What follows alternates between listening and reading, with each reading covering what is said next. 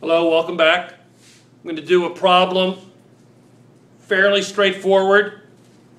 A mountain, 30 degrees, I have a skier. Skier, 100 kilogram skier. The coefficient of friction is 0.1. 30 degree mountain, 30 degree mountain. Here is the, here are the FW, FN and FP. FP is positive, FF is negative.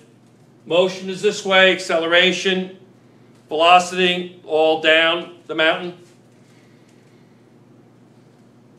I'm giving down for five seconds. How fast is he going to be going after five seconds? Well, I have to come up with the acceleration. Come up with the acceleration, I know the acceleration is a quotient of F net over mass. So what I'll do is, that's part one, I explain the problem, a skier skiing uh, down a 30 degree mountain, 0.1 coefficient of friction, and uh, I'll come back, part two, and we'll see how much we've done.